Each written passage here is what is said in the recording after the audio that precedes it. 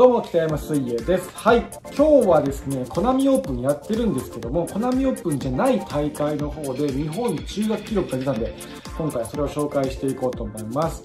はい。今回更新したのは 100×4 のフリーリレー、超水路ですね。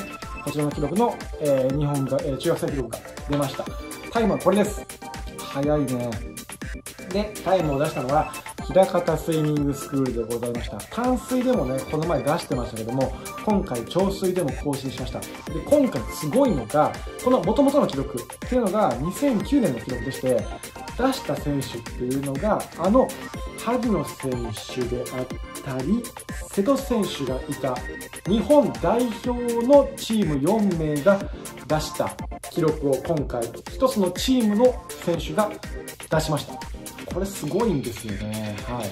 当時2009年はね、萩野くん、瀬戸くんが超速かったんですけども、その萩野くん、瀬戸くんがいるこんなチームの最強メンバーで出した記録、リレーの記録を今回は平方スイミングスクールが出しました。